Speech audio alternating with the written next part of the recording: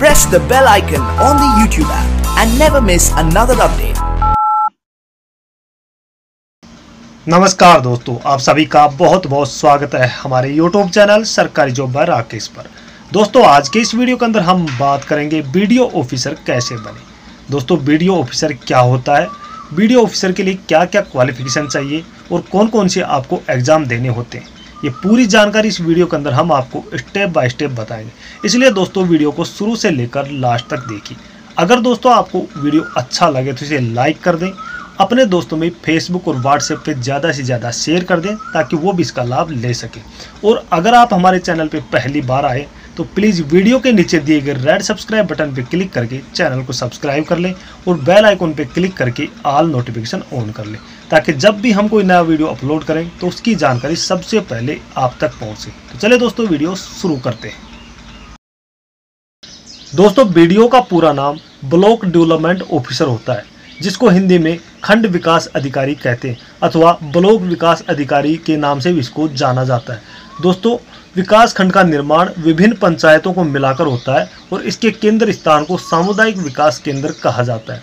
विकास खंड और सामुदायिक विकास केंद्रों के सहयोग से बड़े पैमाने पर विकास से संबंधित जन कल्याण योजनाओं को प्रयुक्त किया जाता है। बीडीओ ऑफिसर को विकास खंड के प्रभारी अधिकारी को ब्लॉक डेवलपमेंट ऑफिसर कहा जाता है। दोस्तों, सबसे पहले किसी भी जॉब को पाने के लिए ज़रूरत पड़ती है क्वालिफिकेशन, यानी कि योग्यता की। दोस्तों, वीडियो ऑफिसर बनने के लिए शैक्षिक योग्यता, वीडियो ऑफिसर बनने के लिए उम्मीदवार किसी भी मान्यता प्राप्त यूनिवर्सिटी से ग्रेजुएशन या फिर पोस्ट ग्रेजुएशन होना अनिवार्य है। दोस्तों, वीडियो ऑफिसर बनने के लिए उम्र सीमा, वीडियो ऑफिसर बनने के लिए न्यूनतम आयु 21 वर्ष और अधिकतम आयु 40 वर्ष होनी चाहिए, जिसके अंदर गवर्नमेंट के रूल्स के आधार पर कैटेगरीज वाइज इसमें छूट भी दी जाती है। जैसे कि ओबीसी कैटेगरी वालों को तीन वर्ष और एस सी कैटेगरी वालों को पाँच साल की छूट दी जाती है। दोस्तों वीडियो ऑफिसर के लिए चयन प्रक्रिया क्या है? दोस्तों वीडियो ऑफिसर पद के लिए उम्मीदवार का चयन रिटर्न एग्ज़ाम और इंटरव्यू के आधार पर किया जाता है। इसमें सबसे पहले रिटर्न एग्ज़ाम लिया जाता है। अगर इसको उम्मीदवार पास कर लेता है तो फिर उसको साथ ही इंटरव्यू के लिए बुलाया जाता है। वीडियो ऑफिसर परीक्षा की चयन प्रक्रिया इस प्रकार से है। नंबर एक, प्रीलिमिनरी एग्ज़ाम यानी प्रारंभिक परीक्षा। नंबर दो के ऊपर मैन एग्ज़ाम यानी मुख्य परीक्षा।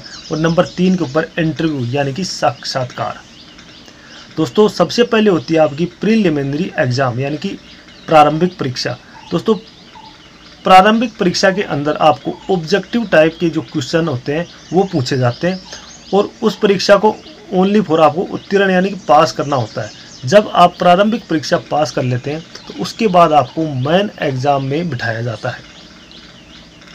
उसके बाद आपका होता है मैन एग्ज़ाम।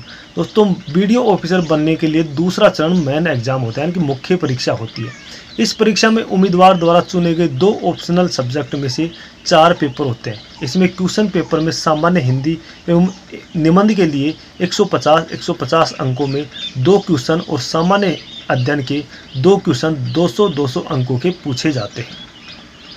जब आप मुख्य परीक्षा पास कर लेते हैं तो आपका इंटरव्यू होता है। दोनों परीक्षा में उत्तीर्ण होने पर उम्मीदवार को इंटरव्यू के लिए बुलाया जाता है और इसमें अन्य ऑफिसर आपके सामने बैठकर कुछ सवाल कर, करते हैं और इसमें आपके प्रदर्शन के अनुसार आपको अंक दिए जाते हैं।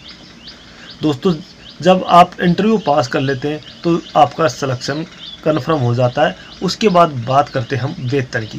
दोस्तों वीडियो ऑफिसर की सैलरी बहुत अच्छी होती है। वीडियो ऑफिसर की सैलरी लगभग तिरानवे सौ रुपये से लेकर पैंतीस हज़ार रुपये प्रति माह के बीच में होती है। और दूसरा, इसके साथ साथ वीडियो ऑफिसर को अन्य कई तरह की सरकारी सुविधाएँ भी दी जाती है।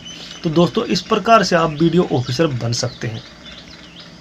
उम्मीद है आपको हमारे द्वारा दी गई जानकारी अच्छी लगी होगी। अगर दोस्तों आपको वीडियो अच्छा लगा तो इसे लाइक कर दें और अपने दोस्तों में ज़्यादा से ज़्यादा फेसबुक व्हाट्सएप के ऊपर शेयर कर दें, ताकि वो भी इसका लाभ ले सके।